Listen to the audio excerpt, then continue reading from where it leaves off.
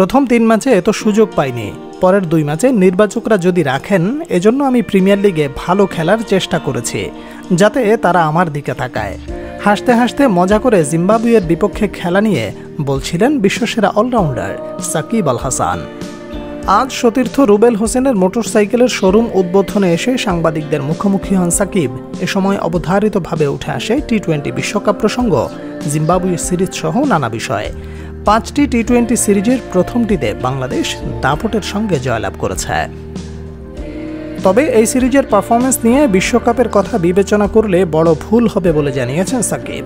দেখুন, জিম্বাবুয়ে যুক্তরাষ্ট্রের সঙ্গে খেলা বিবেচনা করে আমরা যদি বিশ্বকাপ চিন্তা করি, আমার কাছে মনে হয় খুব ভুল হবে।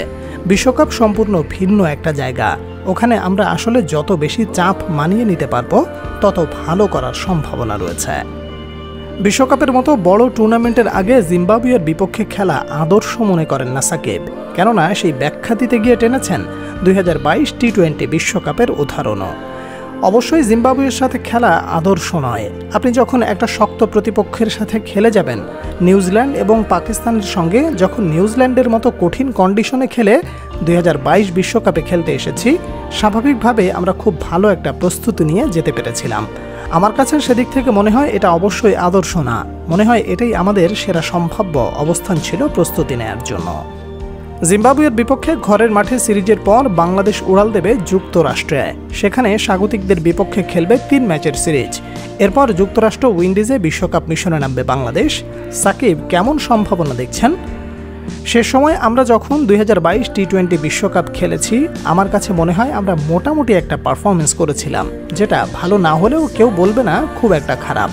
আমি আশা করব ওই জায়গায় দুই হাজার চব্বিশ সালে যদি আমাদের বেঞ্চমার্ক থেকে শুরু হয়, এই বিশ্বকাপ আমাদের সেটা ছাড়িয়ে যাবে। সেটা যদি যেতে হয়, আমাদের অবশ্যই প্রথম রাউন্ডে তিনটা ম্যাচ জিততে হবে। সেটা যদি করতে পারি, আমার কাছে মনে হয় এটা মোটামুটি ভালো একটা অর্জন হবে। তারপর ওখান থেকে যদি পরবর্তীতে চিন্তা করি, আমার মনে হয় ভালো হবে। এমনটাই যোগ করেন বিশ্বসেরা এই অলরাউন্ডার সাকিবের নেতৃত্বে সেবার বাংলাদেশ সুপার টুয়েলভে দুই ম্যাচ জয়লাভ করেছিল।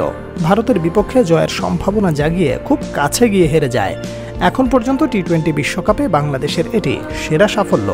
এবার সেটিকে ছাড়িয়ে যেতে চান। Salman Abdullah sports and news.